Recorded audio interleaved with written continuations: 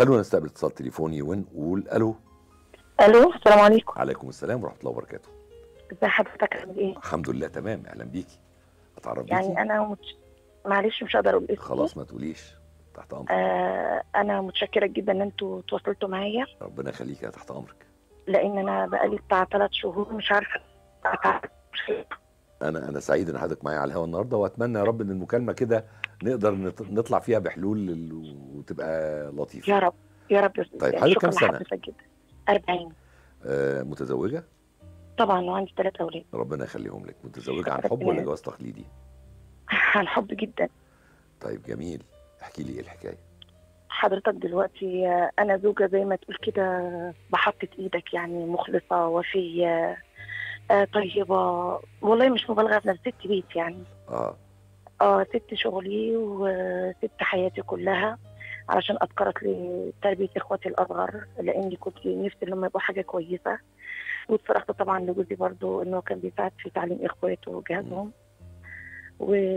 وشلت أمي في مرضها ووالدي وجوزي وكل حاجة. ربنا يبارك لك. دي حاجة يعني ربنا يبارك هو لك فيها. الحمد لله كافئني فطبعا حضرتك أنا كنت دايما بحس إن في حاجة بيني وبين جوزي. ليه؟ و اتضح لي بعد 20 سنة ان كان هو متعلق بأختي تعليق عاطفي. بعد 20 سنة من علاقتكم العاطفية؟ هو أنا هو أنا من جوازي أصلا. من جوازك هو أنا اكتشفتي إن هو كان متعلق زمان هو أنا اتأكد. زي ما يكون ربنا بعت لي طيب ثانية واحدة. كان نعم. متعلق بأختك ولا ما أيوة. زال متعلق بأختك؟ ده بقى اللي وجعني. طيب خلينا اللي خلينا نعرف بس انت اتأكدتي إزاي من المعلومة دي؟ هقول لحضرتك آه، هو أنا اولا آه، طبعا زي ما قلت لحضرتك أنا زوجة مش إن أنا ألف موبايل جوزي ولا إن أنا أفتش ولا الكلام ده خالص وكنت واثقة ثقه عمياء يعني لأني ما, ما عنديش بصراحة وقت أحط في في خيانة ولا قلة ثقة ولا الكلام ده. وحصل مشاكل يعني أقول لك لدرجة إن أنا مخلصة إن كان عنده هو مشكلة في الخلفة وأنا حاليا قاعدة في بيت عيلة وقلت أنا السبب. وحضرتك متخيل طبعا في المتوسطة اتصلحت؟ المشكلة كانت من عند ربنا اتحلت من عند ربنا آه. بعد صبر يعني الحمد لله. وربنا كرمني بثلاث أولاد هي المشكلة إن أنا كنت بحس في الحاجات دي بس حضرتك عارف الحاسه الثابته بتاعت المرأة يعني آه بس أنا ما كنتش بديها مجال طيب أختك بيستغل أختك نعم. أصغر منك ولا أكبر منك أصغر مني بأربع سنين أصغر منك بأربع سنين انت كنت آه. بتحسي إن هو وهو بيتكلم معاها وبيتعامل معاها في استلطاف في لطافة في ضحك في حضرتك في لمعان عينين في فرحة في بهجة يتصدر لها في كل حاجة مم. ومن كتر ثقته فيا إن أنا أصلا كان في يعني فلاشة فأنا خدتها مع أول تاب جبته لبنتي. فاتأكدت منها يعني إن كان عامل مقاطع أغاني بصوته هو عامل مقاطع أغاني بصوته آه يعني أغاني مركبها وحاطط عليها ذكريات معينة يعني مم.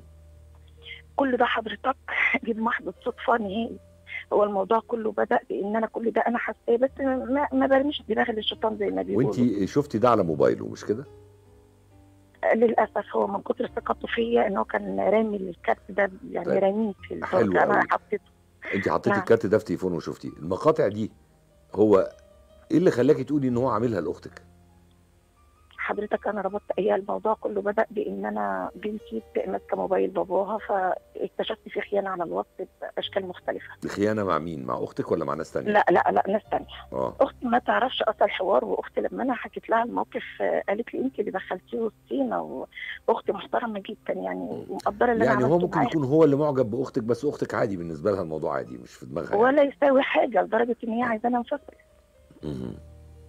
وهي بصراحة بالنسبة لي بنتي مش أخت على قد ما فيش حلو، فرق كبير حلو. بس أنا تعبت. حلو.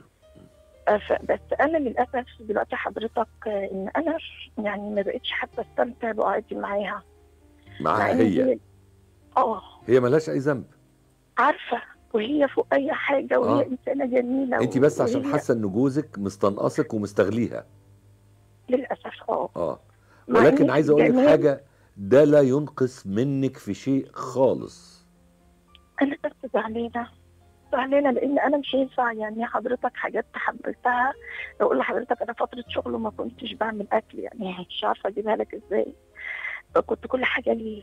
لو أقول لك عشت شبابي كله وضع طبيعي. وضع طبيعي. الزوجة الصالحة بتبقى حياتها زي ما انت عايشة. لا تلومي نفسك على إنك كنت زوجة صالحة. أنا حاليا آه، مش بعرف آه، أتملك في أعصابي. مم. وزعلانه إن أنا طيب خليني أسأل حضرتك سؤال. انت واجهتيه؟ للأسف واجهته وخدت طبعا آه، حضرتك هي الموضوع كله إن لما اتكشفت خيانته على الواتس حسيت إنه عايز يثبت لها هو براءته يعني. ليها هي مش لي أنا. مم. المشكلة إن ال- لا هو مش عايز يثبت لها هي. هو عايز يثبت إن مش هي اللي كانت مقصودة علشان الخيانة ما تبقاش دبل أصل لا هي مش هي حضرتك هو حضرتك ساعه ال- الواتس ده. الحاجات اللي جابت هجمتي المشكلة كلها أنا حوار أختي ما كانش في دماغي آه يعني هو عايز يثبت لها هي إن هو مش خاين إن هو مش وحش آه وده. اللي وجعني. ده اللي وجعني لا حضرتك أنت متخيل الكلمة لما حد يقول لمراته طلعيني من دماغك واتجوزي بعد الأمر ده يجي. قدامها بيحاول يبين أي حاجة مع إن لو أقول لحضرتك هي بتحتقره ما ممكن يكون كان بس بيحاول يدافع عن نفسه على فكرة أنا بحاول ألاقي له مبرر أنا مش بكذب عليك. حضرتك أقول لحضرتك على حاجة. أنا قبل حضرتك حاولت ألاقي بكل الطرق بس أنا حصل كام موقف. احكي لي طيب. آه، يعني موقف منهم آه، بكلمه بقول له طب آه، ساعات ما قال لي اتجوزي. أنا حضرتك بيبقى حتى في العلاقه الخاصة كنت دايما أقول له أنا بحبك ما, ما ينطقهاش آه. يوم آه، كاتب كتابها كان بيبكي. فأنا طبعا ما خدتش وديت لأن كان نفسي هدفي إن أنا أختي تتجوز. مم. كانت جوازه كويسه الحمد لله. و... و... وأنا يعني هو حسسك إنه بيبكي فرحة مثلا؟ لا حضرتك على في بيتي على سريري آه. وكان متغير جدا. حضرتك أنا ما رميتش دماغي للشيطان كل السنين دي وما كانش ساعتها لسه خلفت أولادي. أنا أول ما خلفت ابني الله يرحمه توفى. طب ليه تهاونتي في حق نفسك طول السنين دي؟ بما إنك شايفة قدامك ثوابت ده اللي يعني. مزعلني يعني انت. شايفة قدامك إن هو مهتم بيها بكى يوم كاتب الكتاب حصل. وحصل وحصل. إيه اللي سكتك طول العمر هقول لحضرتك أنا ما كنتش أقدر ساعتها آخد موقف لأن كان عندي مشاكل جامده في بيت والدي أنا حاليا أصلا في يعني اتجوزت عشان هو جنب بيت والدي إن أنا أراعي إخواتي. الأصغر هي المشكلة كلها إن أختي كمان اتهمتني إن أنا اللي دخلته وسطينا وأنا اللي اديته حجم أكبر من حجمه مشكلة لا لا لا لا استني طلع الاتهام ده من القصة لأن ده جوز أختها الكبيرة ولازم كان يدخل ولازم تديله حجمه أكبر من حجمه لأن ده جوز البنت الكبيرة والراجل اللي كان مسؤول. المشكلة إن كانت مشاكل بيت بابا كبيرة عليا فكان لازم يساندني بحق إن هو جوز. وهو ساعدك فيها وعدى عديته منها وكده. للأسف حسيت إن كل موقف وقف جنبي فيه عشانها هي. فده اللي وجعني دلوقتي. أنا الحمد لله أختي مستقرة و... وأنا بس عايزة أعرف هو دلوقتي مش هكدب على حضرتك. أنا دلوقتي بقت في مشاكل بتفتعل من أقل حاجة من أقل حاجة بصراحة وما فيش ثقة خالص. و... بس هو رفض فكرة الطلاق نهائي لدرجة إن أنا قلت له أنا هتطلق يعني. فهو رفضها هو دايما يحسسني إن أنا أم يعني دايما بيحس إن أنا امه بقالكوا قد إيه مع بعض؟ 20 سنة؟ 20 سنة. ما هو خلاص حس إن انت جزء لا يتجزأ من حياته وما ينفعش ينفصل عنك وانفصالك عنه. يع- يعني المشكلة حضرتك أنا فعلا. عشت معاه. لو أقول لحضرتك أنا حتى لما جيت واجهته قلت له أنا حبيتك عن أبوك وأمك. يعني أنا لو أقول لحضرتك أنا في البيت هنا كنت بحميه لدرجة إيه؟ بعد ربنا. لدرجة إن إخواته كانوا بيغيروا. يعني كنت دايما هو كان الأول حاجة بسيطة في شغله دلوقتي بقى ما شاء الله. حضرتك أنا نسيت نفسي أنا زعلانة على عمري. عشان كده أنا بتكلم النهارده في الموضوع ده في الروشتة بتاعت النهارده. لسه أنا ما كملتهاش. إن لازم يكون في عدل وتوازن في العلاقة. انت مع. الأسف يعني نحرتي نفسك قدامه. أيوه للأسف. بس أنا كنت مستنية الوفاء مع ان أنا على فكرة مش وحشة. يعني أنا هو خلاني فقدت طبعا فترة في حياتي ثقتي بنفسي لحد ما اتعرفت على صديقة بنت حلال قوي. فطبعا خرجتني من الأم اللي أنا فيه ده. هو دلوقتي رافض الفكرة دي. رافض إيه؟ رافض رافض إن إزاي إن أنا مثلا أخرج أعرف أنواع make up أعرف تسريحه شعر معينه مع ان أقول لحضرتك أنا مش بتكلف حاجة أنا كل حاجة بعملها في بيتي يعني أنا آه. أنا من الستات اللي زي ما بقول لحضرتك كده أقول لك إزاي جدا إيه العيب في إنك تهتمي بنفسك وتزوقي لنفسك دلوقتي تعملي شعرك وتحطي ميك اب بالعكس هو عشان حاسس إن أنا يعني حاليا كله ما بيبقاش يديني سني مثلا. كنت في الأول آه، طبعا هقول لحضرتك حاجة مستغربة جدا ان جاني مرض آه، في الكلى.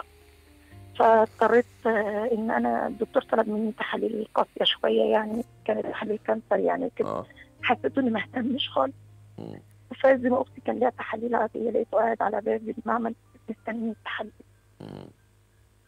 كل ده حضرتك أنا افتكرته دلوقتي كل ده سنين.